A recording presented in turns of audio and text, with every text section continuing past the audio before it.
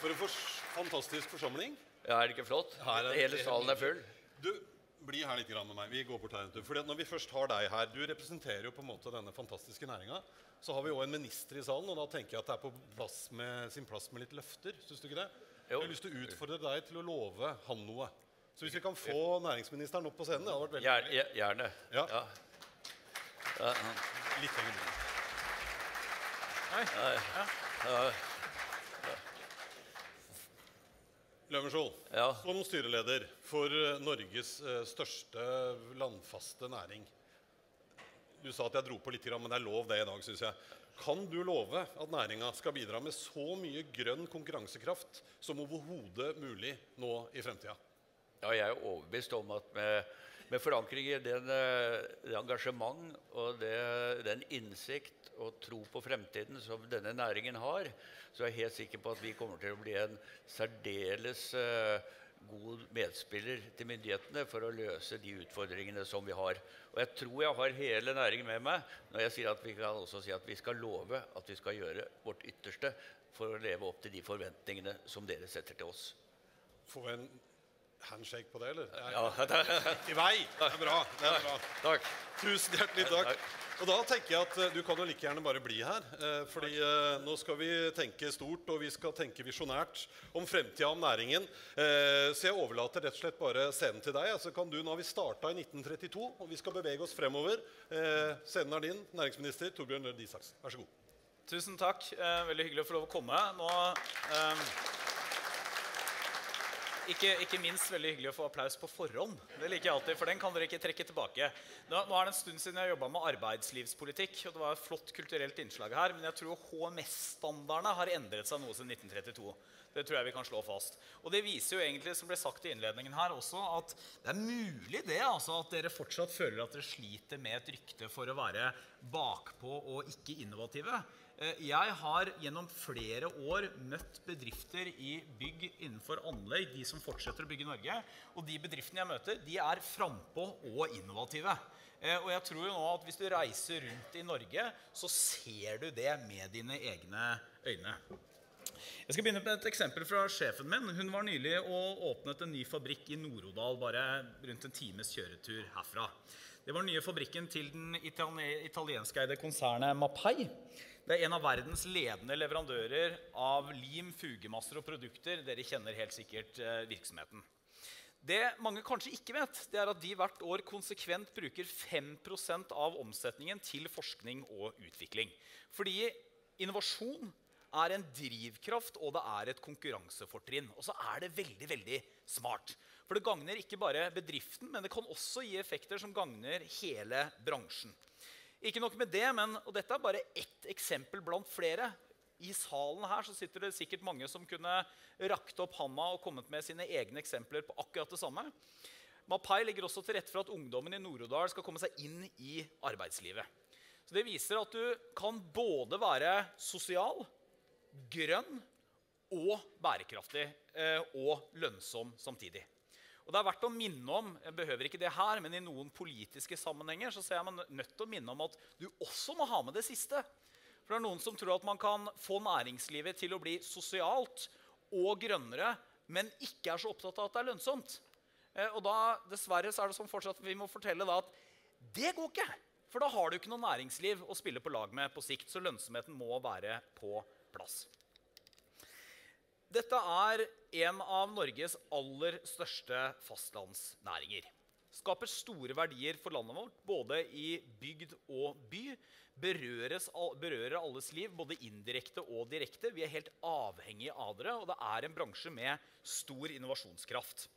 Og så er det, som jeg nevnte innledningsvis, sånn at vi, vi har vært glad i å si at vi bygde landet. Og det gjorde vi. Men vi fortsetter jo å bygge dette landet. Og man kan, eh, en ting er Hvis man reiser rundt, til, rundt i Oslo, for eksempel, så ser man det veldig tydelig.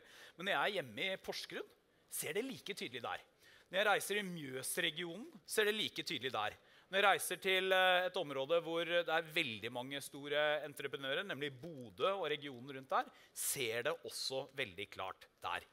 Ikke bare bygger man eh, store, viktige bygg, ikke bare bygger man boliger, men hele tiden er det en kombinasjon av nye, spennende markørprosjekter og de små innovasjonene som er med på å gjøre ting litt bedre hver eneste dag. Det går ganske bra i Norge om dagen. Aktiviteten øker i de aller fleste næringer. I løpet av det siste året har mer enn 50 000 mennesker kommet i jobb. Arbeidsledigheten har ikke vært lavere på ti år, og oppgangen er ventet å fortsette. Og veksten kommer i privat sektor. Men selv om egentlig så er det når, og nettopp når det går bra i norsk økonomi, så må vi bruke den muligheten til å forbedre samfunnet vårt med tanke på fremtiden. Vi må utnytte de ressursene vi har, enda bedre og legge til rette for at også når det kommer tøffere tider, og det vet dere som er en konjunkturutsatt bransje, så skal vi være bedre rustet til å håndtere det. Jeg har av og til inntrykk av at eh, omstilling, som regjeringa har snakket om nå i seks år Regjeringa har faktisk seks års bursdag akkurat i dag. Det er seks år siden vi tiltrådte. Det har nesten fått en litt sånn negativ valør.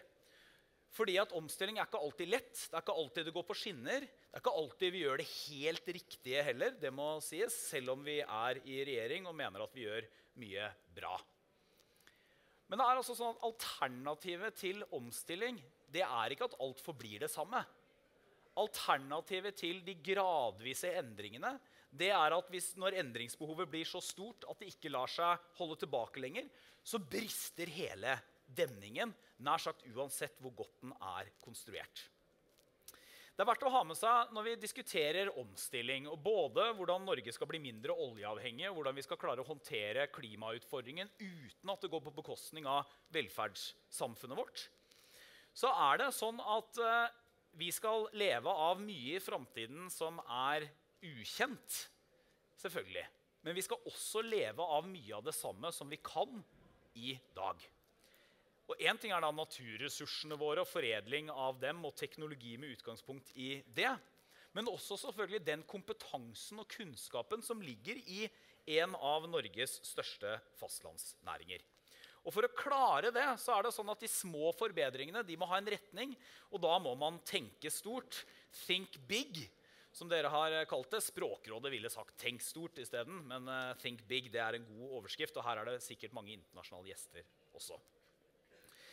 Klimaendringene er et, et, uh, en rammebetingelse som man må forholde seg til uansett om uh, hva man måtte mene om det eller ikke. Og det er egentlig så enkelt at i 2050 så skal Norge være et uh, Vi skal ha ned utslippene våre med 90-95 eh, fra 1990-nivå. Noen snakker som vi skal slutte å slippe ut CO2. Det er ikke mulig uten å utrydde alt liv på planeten. så det er ikke noe mål. Men vi skal altså ha balanse i CO2-utslippene våre. Og Det betyr for å si det veldig enkelt, at hvis en virksomhet eller en bransje ikke kan være med på den grønne omstillinga fram til 2050, så har du ikke livets rett. Og det kommer til å bli tydelig lenge før 2050. Men dere er jo en bransje som har livets rett. Og dere er i gang med alle disse omstillingene og har i og for seg vært det lenge før dette ble en av de aller største politiske sakene også. Det er ikke en enkel oppgave, for som land så har vi da et naturlig kappløp med mange andre om nye løsninger, produkter, ikke minst kompetent arbeidskraft. Det er også en konkurranse internt i Norge. Utviklingen av ikke bare ny teknologi og nye produkter og nye tjenester skjer i rasende tempo. Vi er nødt til å holde tempoet oppe. Men også hele tiden den gradvise forbedringen som til slutt blir stor innovasjon. Det er mange som puster dere i nakken. Dere konkurrerer, og det er mange som puster oss i nakken.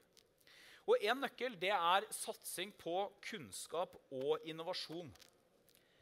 Hvis ikke vi klarer å satse videre på kunnskap, innovasjon og et løft. Og da snakker jeg om alt fra kunnskapsarbeideren, fagarbeideren, opp til eh, ingeniører eller doktorgrad eller egne forskningsmiljøer. Hvis vi ikke klarer å løfte det ytterligere, så er det vanskelig å få til den tryggheten gjennom omstilling som vi trenger. Vi er også nødt til å bli enda bedre på å koble utdanning, forskning og næringsliv. Vi er nødt til å ha utdannings- og forskningsinstitusjoner som er enda tettere enn i dag kobla på det som skjer ute i arbeidslivet og næringslivet. Vi er godt i gang med dette. Vi, vi har, eh, I løpet av denne regjeringsperioden så har vi nesten dobla satsingen på eh, næringsretta forskning og innovasjon. Det er veldig bra. Det er en sterk satsing som fortsetter også i eh, neste års budsjett, altså 2020-budsjettet, som akkurat nå ble lagt frem. Det er ikke det som får størst overskrifter, men det er noe av det vi har brukt mest penger på. 12 milliarder ekstra siden 2013. Og så er jeg glad i å skryte av det, men så har jeg alltid med meg i bakhodet og dette er viktig også for en, for, en, for en, næring som dere, som da har stor grad av aktiviteten i Norge, selv om mange av dere også selvfølgelig har prosjekter og eksport andre steder. At vi er gode, vi har kommet opp i jeg vil si, greit tempo. Men hvis du reiser rundt for til Asia og så ser du på hva de har gjort med forskningsbudsjettene sine, hvor mange av deres elever og studenter som tar teknologifag, hva de har som ambisjoner for forskning og utvikling de neste ti årene, så ser vi at mens vi er kommet opp i grei løpefart, så spurter de. Og de har tenkt å spurte en hel maraton. Og det er imponerende, og det er det vi må forholde oss til. Og det er i den sammenhengen vi må se også vår egen satsing. Mye av denne kunnskapen ser vi i hypermoderne små og store bygg. F.eks. selvforsynte økosystemer Signalbygg som også skaper energi, kan selge strøm i nullutslipp som en ny norm for byggestandard. I ambisjonen om utslippsfrie byggeplasser, avfallsfrie byggeplasser, som kobler også avfallet eller restproduktene til sirkulærøkonomien.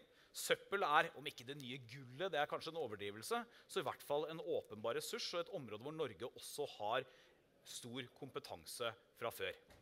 Og her går utviklingen utrolig raskt.